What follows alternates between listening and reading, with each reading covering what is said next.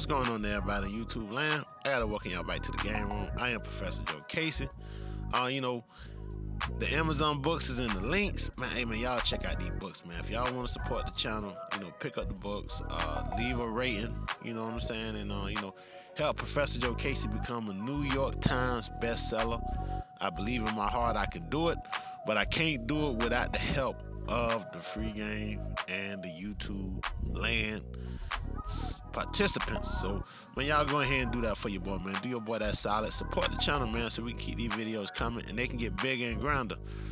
But what I want to talk about today, and also, yeah, um, add me on Facebook. My Facebook is dry as hell. Add me on Facebook. Uh, what I want to talk about today is um,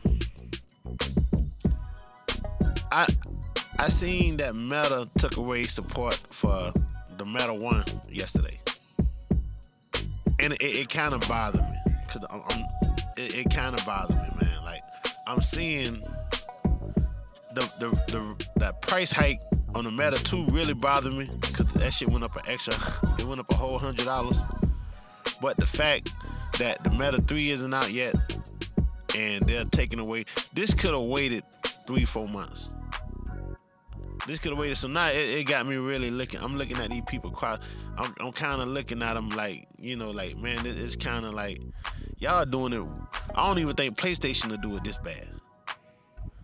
I don't even think PlayStation. The people who bought the Meta One is the foundation of your company, bro. This how I'm looking at it. Wouldn't be no Meta 2 if the Meta 1 wouldn't have been amazing, amazingly successful. Now I understand that the shit getting outdated, and you, you know you might have to move away from it after a while, but at least wait until the third one is out. The third one, it ain't like the third one coming out in two years. Third one is coming out in literally a few months. Little they saying it's gonna come out mid 2023 around June and all that good stuff though. So they couldn't wait five months. Like these people, they can't even they can't join no parties they are losing access to things that the Meta One could previously do. So I can understand you saying, okay, we're not to uh, put out no games that have to run on the Meta One that's to stop the, the the, the Quest 2 from running. Okay, we're not to let the, the Quest 1 hold back the Quest 2 from what the Quest 2 can do and what the Quest 3 can do. I can understand that. But when you start taking away things that it already did, you start taking away the social aspect of the, the the Quest, which that's why most people, majority of the people bought that thing not for not for gaming. I didn't buy it for gaming. I bought it because it was a social platform, and then you know I I got turned on to the gaming part of it because I was like, okay, the gaming is pretty nice, even with these mobile processors like the downscaling that these developers was able to do and make run on this thing is, is pretty awesome. So I kind of went into the gaming part of it, but shit, I was happy with my PSVR, and I was gonna get the PSVR too. But the meta, like they they are literally crapping on the foundation of the people who started, got them where they at today, and it's crazy because it's like we want you guys, we're gonna cut off your Quest One we want you guys to buy a Quest 2 so you guys can still do the things that you were accustomed to doing when you had your Quest 1. And then in a couple of months from after that, we're gonna we're gonna get you guys on the Quest 3. we're gonna we're gonna come out with something more with more even more powerful, more better, more greater. So it's like not only are you trying to two for one somebody, it's like they trying to three for one people. All right, we want you guys to spend four hundred dollars now to get the Quest 2, and then we're gonna make you guys buy the Quest 3 and that's man, that, that got me looking at this company like I, I don't even know if I want to get the damn Quest 3. You can't do that to your core foundation. You're not gonna lose no money holding out three, four months before you pull the plug on this thing. Anything, people are gonna respect you. Like I need to see the same outrage for the damn PS3 store closing that you know that shit need to be. That's what people need to be doing for Facebook cutting support for the One. That makes no sense, man. that makes no sense. Like when, when I heard that story, I was like, damn, man, that, that's crazy. I like they ain't gonna do it that janky. Like right now, just cut that shit, and then now you gonna what? You gonna force somebody to buy the Quest too? And then instead of just saying, okay, we're gonna cut it, But when we cut it, we're gonna make sure you guys got two options to pick for.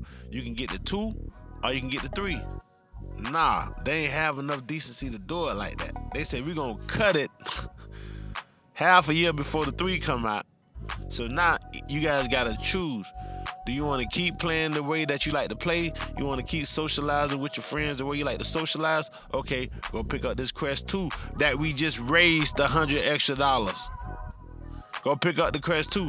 And if you want the latest and the greatest, and you don't want this happen to you in another two years, what happened to you with the one, then you might want to go get the three. Because in another two years, guess what they're going to do to the Quest 2 users? it's, oh, it's the Quest 4 app. So, you know, you assholes, y'all want to get the three? Or y'all want to wait five, six months to get the four? But this Quest 2, we about to put a plug on this shit. It's outdated. It's crazy, man. It's crazy, man. I, I see a lot of they they try to market themselves, and this thing about Quest that's that's funny to me, man. Cause I own I own three of these Quest 2s, right? They try to market they try to market it as an affordable headset, but once you just buy the basics, like you're gonna need an elite strap. That that Quest that Quest two strap is, is ass. It's horrible. You're gonna need an elite strap. Uh, you might need some some some grips. You're gonna need a face a face thing because the face plate is horrible. Like once you just buy like the the the four five accessories that you need to actually make this shit functional. Cause you're gonna need a, not only you're gonna need a lead strap, you're gonna need a lead strap with a battery pack on the bike so you can balance out the weight of the head strap. So once you buy like the four five things to make this thing halfway usable, you done already spent like six hundred dollars on one headset. And that's before you even start buying the software. So it's really not an affordable headset. You know what I mean? If you want to have a shitty experience with it, you might can get away with spending 350 and just playing free apps. but it's not really affordable. This shit is very expensive. When people bought them expensive ass Quest ones, they set the foundation for the company and this is how they get this how this how Quest pay them back. This is how they get paid back. This is why I don't I don't really don't like being an early adopter. I'm gonna do it with the PSVR 2, but I'm kind of worried about the PSVR 2 too because a lot of their games are Quest ports, and I'm telling you, man, PlayStation is gonna sit back. They yeah they put out the um they put that what's name out that uh Call of the Mountain, and that Call of the Mountain really I don't think Sony really put a lot of money behind it, man. Anytime I see a VR game and it's floating hands, I just feel like, damn, this shit like last generation. I don't care how beautiful you make the background. You can make the background gorgeous just based off the power of the system. My thing is how much work went into the actual gameplay. I don't care about the visuals, man. Like, like everybody get caught up in the visuals. How am I gonna feel when I'm playing this game? Because when I'm in VR, the man, like I could be playing some Roblox type shit. I could be in Rec Room in VR. And if somebody made a pretty good game, I'm gonna have an enjoyable experience. So I don't really get too caught up in the visuals when we talk of VR. So you can't you can't fool me with the visual game. Like I like the visuals, I appreciate the visuals in Resident Evil uh, 7, but it was the gameplay that made that game for me. The gameplay was goddamn terrifying. It, the gameplay was so terrifying, like I really didn't even notice the visuals like that though. I was just so caught up in the gameplay. So that, that's how I'm gonna feel about this village too. Now the village got the motion control. Like this village gonna be straight, man. But how Quest doing people, man, I, I ain't really too much feeling that. You don't do that to the people who supported you from the ground up, man. That's worse than some. I don't, I don't even think Facebook ever did no shit like that. Even though Facebook was getting ready to close the PS3 store, you know, how long that store been open? That store been open. It wasn't over four years, and they said, okay, we're gonna close it. What Facebook did, what, what, what PlayStation did that I didn't like, they cut the support for the Vita. I didn't like that. They they they chopped the head off the Vita. So, but hell, it, it wasn't like it wasn't like okay, buy the Vita two and we finna cut this Vita off. So you gotta wait for the Vita three. At least they didn't do it like that. So it is what it is, man. But I'm looking at I'm looking at Facebook practices, and I'm seeing a lot of shady shit going on. I'm saying they they buying a lot of exclusives. They done already messed up Resident Evil 4, which I'm not too appreciative of. So that's why you know um, I'm glad I, I bought a Meta this this um well I'm really not glad I bought a Meta. This what's name this um this Christmas. An extra Meta for the household that we got Resident Evil 4 on that I was able to play. Great game. But because if I would have bought a Meta last year, it would have been three hundred dollars. And so it's still even out. Like I didn't even save getting the Meta with the free Resident Evil because the shit was supposed to be two ninety nine anyway. So only thing they really did was just throw in Resident Evil along with the price hike. So it is what it is. And like I say, man, this is another reason why I say PlayStation is not getting the full remake. Resident Evil is getting is Meta's giving that shit away as a bundle. I'm telling you, I think they own the rights to the Resident Evil VR remake. They probably went, they probably put that shit in motion five, six years ago before Capcom even thought about making a Resident Evil remake on on Sony. They probably beat Sony to the punch on that. I'm, I'm telling you, that's what I think. And Facebook, they got the money for that. Facebook got the money for that. I don't know. It, you know, we might get we might get a full VR version on the PS4, but I wouldn't hold my breath for that. But that's all I want to say, man. That's just my little gripe on what Meta doing, man, to the Quest One users. I think that shit is trash. Meta is trash for that, bro. I don't, like they trash for that, bro. They could at least let them people wait until the six, came, the three came out, and then don't don't touch nothing.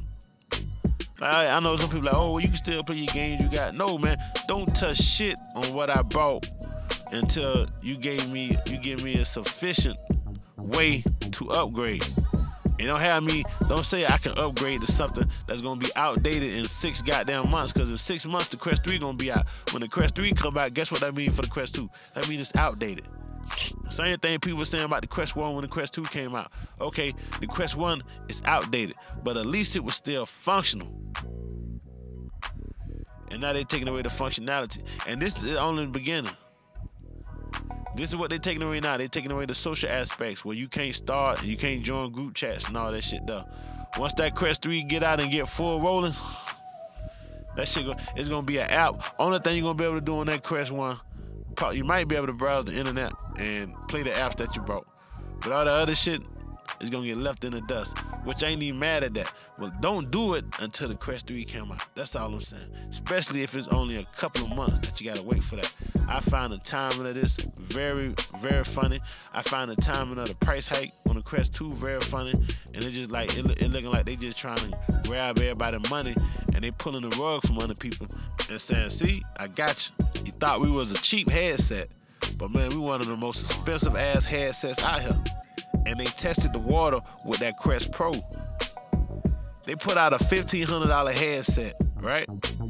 And now it's supposed to be another headset coming out in 2023 that's supposed to be more powerful than the $1,500 headset that's one third of the price. Man, you, gotta, you gotta look at this shit, man. You can't make this stuff up. so. You just charge me fifteen hundred dollars for this, but this finna come out and this more powerful, but this this one third of the price. I can't make this stuff make sense, man. I can't, but it is what it is, man. Hey, let me get out of here, man. Y'all be cool on your stool. Understand that cooking with two peas in a pot. They ain't cooking in the stove ain't hot. On go case.